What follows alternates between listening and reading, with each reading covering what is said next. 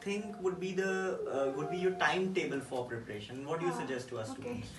Uh, again, I would say that I'm not the kind of smart person who is like you know who is a strict timetable follower. No, I'm not, and I mess up a lot with my schedule. Every time I make a schedule, I make sure that I'm going to mess it up. So yes, that's the kind of person who I am. So I didn't follow any strict timetables as you mentioned, but like my strategy was that if I uh, like I used to give days to my topics. For example if i have to do group theory and uh, like i feel this intuition from within me that it is going to take my three days. So yeah i just may make up my mind that in my three days i have to give it my all and i have to prepare it no matter what. So yeah i don't restrict my time to each day. Rather i i focus on completing tasks within number of days Okay, That's so you mean to say that you had uh, ultimately focused uh, on the target which you have Mm, prepared exactly. for yourself and Yeah. not on the timetable. Yeah. Okay, so you're not you're not a kind of a person who was bound by Exactly. time. Absolutely. So, uh, what do you think should be the strategy of a person during the examination time? What should he do during the time when he's sitting in front of the computer screen?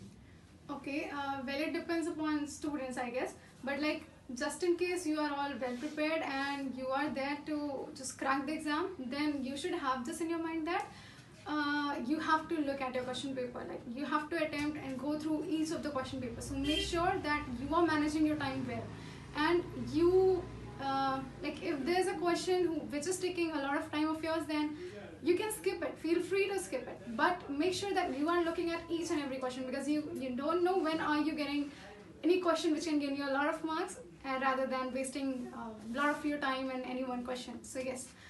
Like main thing in short i would say that try to attempt all the questions please do not skip any of the questions yeah. Okay, so this is one of the common question which has been asked by many of the students that have you joined any test series for your preparation? Uh, okay, so for test series, I would say, okay, I'm going to say the truth. Like uh, in my the institution which I joined, that is SB Institute, it already it had it has a lot to offer to you. Okay, so like we had tests every Sundays.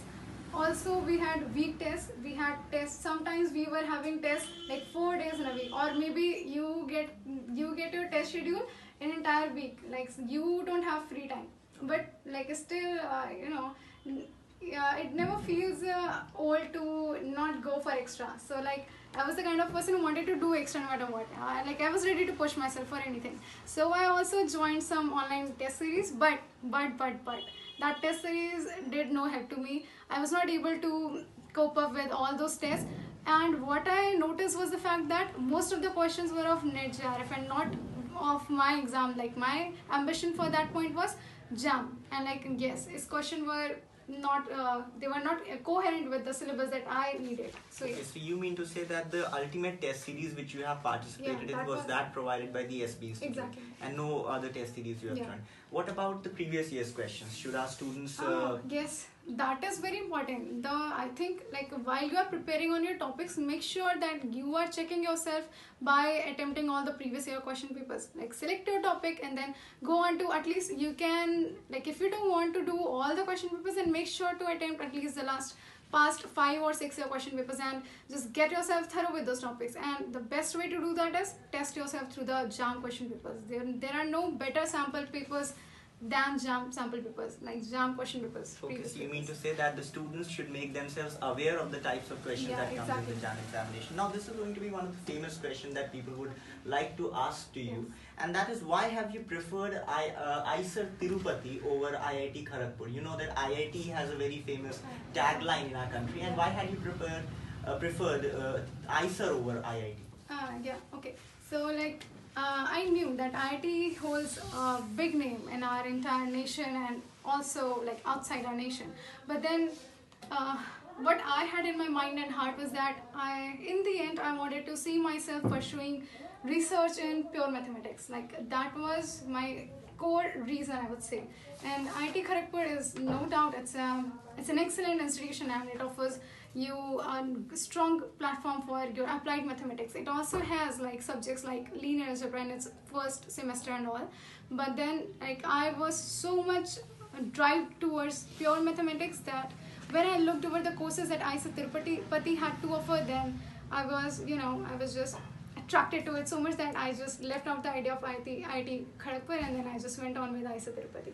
It's basically the sole idea was my interest towards pure mathematics. Okay, so you mean to say that IIT are not the only premier institutes in our country? There are other institutes as yeah. well. One more point that I would like to add is that, come on now, IISERs are Indian Institute of Science Education and Research, and I don't think like they are made to provide you um, a space wherein you can you can have your research oriented environment.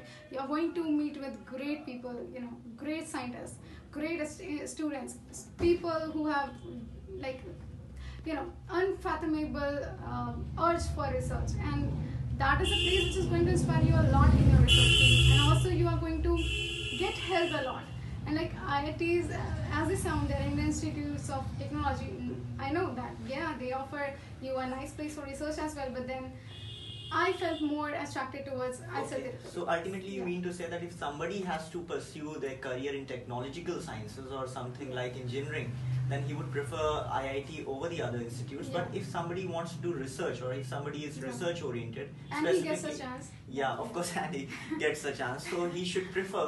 He can huh, he, yeah he should. I mean, Ah, according okay. to you, prefer uh, institutes like IISc Bangalore and Oh, IISER exactly, over yeah. the no doubt about IIT. that So this was the case with you. She was interested in uh, pure mathematics and wanted to pursue her career in research. So you opted IISER Tirupati over IIT Kharagpur. So uh, you got uh, you're doing joint uh, MSc PhD. I'm doing integrated MS PhD Okay, so you're doing integrated MS PhD, and that's a course for six years. six years All right, so that's a wonderful thing to know from you. Can you please explain a bit of your course as well? Uh, okay, so like I have my, my my integrated MS PhD goes like for the first two years you are going to be an MS student and you are going to go through all the core subjects of your pure, mathematics. And like by the end of your second year you will have to find out what subject really interests you and find out your coordinator like uh, the one with whom you would want to pursue your research. And then later on you can you can also search on uh, search about it on the websites. And then you have to give a lot of comprehensive exams uh, one comprehensive exam and you have to do two TAs and like they have their own set of rules and set of um, uh, set of strategy, strategies for you to qualify as a PhD student in there. And then after you finish your six year course then you are awarded with both your MS and PhD degrees. Okay, so you mean to say that after doing two years of MS, if you're not getting eligible CGPAs in your course, then you would not be permitted to do your PhD. Uh, yeah, and I think the minimum CGPA course for here is 6.5. That's Okay, not so if you're deal. getting 6.5, and that's not a big deal and at you all. have to do some extra things, like I said, two TAs and a comprehensive exam. There are a lot of things. Okay. You would know when you would read the handbook of IPHD, I think, yeah. All right, so you mean to say that 6.5 CGPA in MS is not a big deal, and probably students would get over it to get into the If you're PhD working course. hard, provided. yeah, that's of course is Yeah.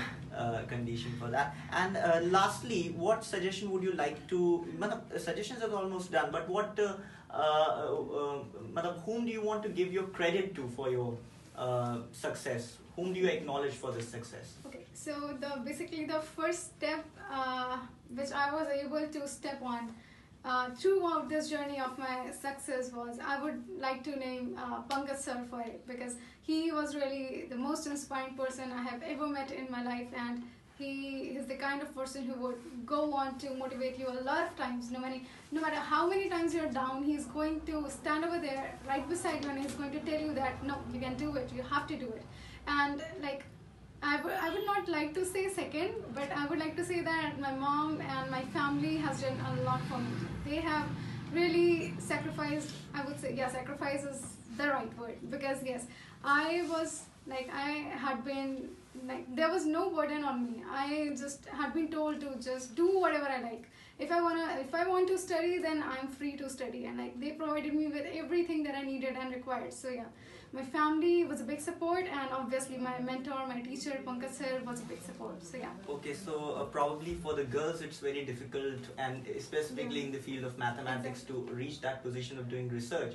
Is probably difficult for the girls, and for that you would you are equally thankful to your teacher Pankaj sir, and you're equally thankful to your parents as well for providing you with that platform. So she was uh, Yajushi Shrivastava, and she has got AIR 139. She got selected in IIT Kharagpur and uh, also in IISER Tirupati. So as she was uh, uh, very much interested in doing research in pure mathematics, she preferred IISER Tirupati over IIT Kharagpur. And what suggestions she has for our students is that study hard, work hard, study smart, and that's the only way to get into the premier institutes of the country through IIT JAM. So thank you very much.